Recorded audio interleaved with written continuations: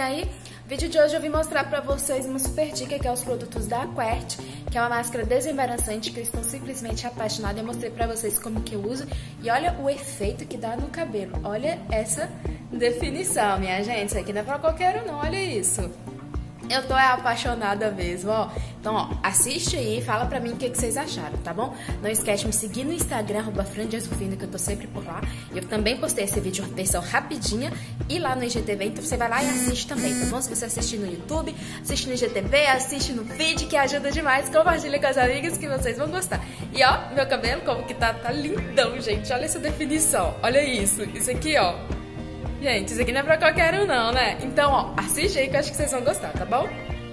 Ok, eu lavei primeiro meu cabelo com esse shampoo da Quert. Ele é pra dar cachos mais definidos. E daí eu apliquei a máscara desembaraçante, inclusive tá por espuma aqui, porque eu tava usando ela agora. Eu vou mostrar pra vocês o efeito dela no cabelo. A ideia é a gente lavar com shampoo, aplicar a máscara e pentear, porque ela é um efeito desembaraçante. Então olha como que o cabelo fica maleável, meu cabelo está com ela. Olha como fica super macio de pentear qualquer cabelo que aplicar essa máscara, fica muito macio. Olha para vocês verem a facilidade que ela dá para pentear o cabelo. Vou virar de costas para vocês poderem ver.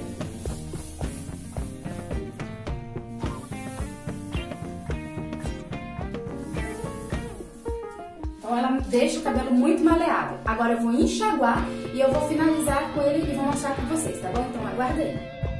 Bom, voltei aqui, o cabelo já tá lavado, olha como ele está. E agora eu vou usar o creme multifuncional da Quert Love, I Love Cachos. Olha pra vocês verem como o cabelo ele fica muito macio só com a máscara, esse é o efeito da máscara ainda.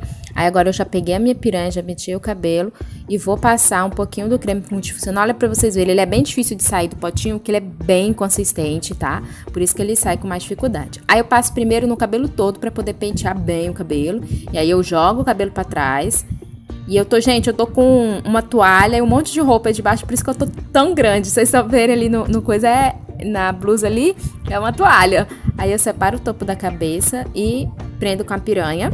E a gente vai agora fazer todo aquele processo que eu sempre mostro para vocês aqui da finalização, né? A gente vai pegar o creme, vai aplicar na mecha, mecha por mecha, tem que ser pouquinho, tá? Porque ele é muito consistente, senão seu cabelo vai ficar branco, vai, vai ficar pesado, tem que ser bem pouquinho.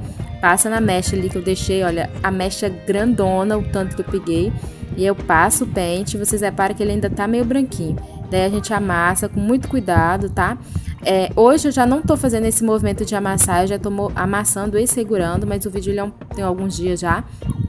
Então, por isso que ainda tá nisso aí, porque a gente vai testando finalizações e vai aprendendo como fazer. E eu acho que segurar deu menos frizz e eu gostei mais.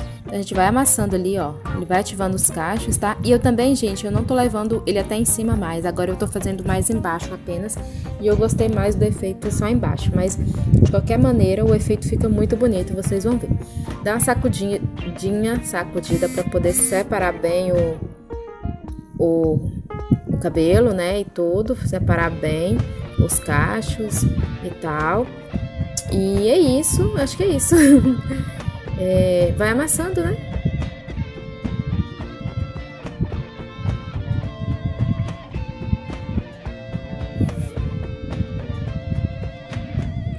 Daí eu separo um pouquinho os cachos, tá? E vou amassando, porque esse processo é o mais demorado. Então eu amasso bastante para ativar bem os cachos e vai repetindo isso em todas as mechas do cabelo. Gente, eu realmente demoro um tempinho para fazer todo o meu cabelo. Fica em torno de aí mais ou menos uns 20 minutos para eu fazer todo. E aí eu vou tropecando novas mechas, aplicando bem pouquinho do creme e continuo passando. É, é um processo que leva precisa de paciência, mas que vale muito a pena. E eu fiz isso em todo o cabelo, como eu já mostrei pra vocês aqui em outros vídeos, né? Pra vocês verem que não tem diferença. Eu deixei o tempo aqui mostrando a toalha pra vocês, pra vocês terem certeza que é a toalha, por isso que eu tô enorme desse jeito.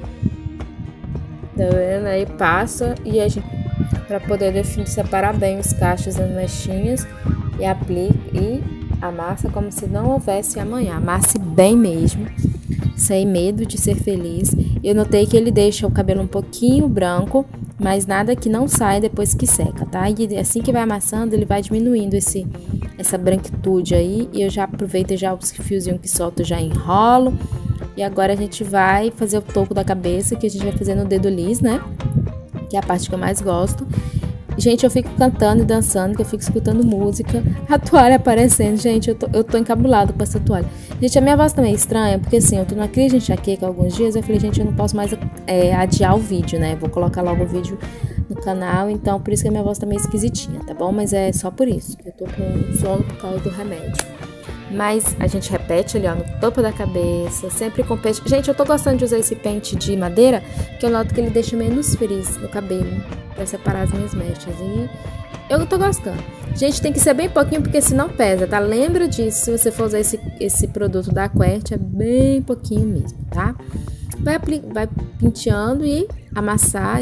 Eu pintio bem, gente, para poder separar bem o fiozinho, a mecha e ter certeza que o o, a mecha, as mechas não estão tá separadas e que ficou creme em todos os fios direitinho, acertou, acertou tudo, sabe? E é isso. É amassa bem, ele fica meio branco, mas isso é normal. Vai amassar bastante para ativar bem esses cachos. E aí a gente vai fazer a parte da frente toda de dedo liso. E a gente, eu dou sempre a sacudida para ir separando, tá? Porque essa parte aí é a parte que fica de trás e dos lados, então é a parte que precisa ficar bem definida. E a frente a gente faz no dedo lis, que eu já ensinei pra vocês como faz, vai enrolando, mesma coisa, passa o creme vai enrolando, no cabelo todinho.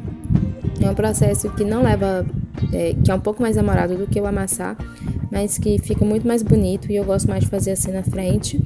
Não tem muito segredo, já ensinei pra vocês, e normalmente é a minha franja e alguma parte da frente. E vai separando tudo isso, dividindo na mechinha ali enrolando, ser feliz, que vai ficar tudo bom, tá bom? Tem segredo não. E o resultado vocês veem aqui daqui a pouco, assim que eu terminar aqui, que já tô terminando. Eu espero que vocês tenham gostado. Comenta aqui pra mim o que, que você achou, beleza? Um beijo e tchau!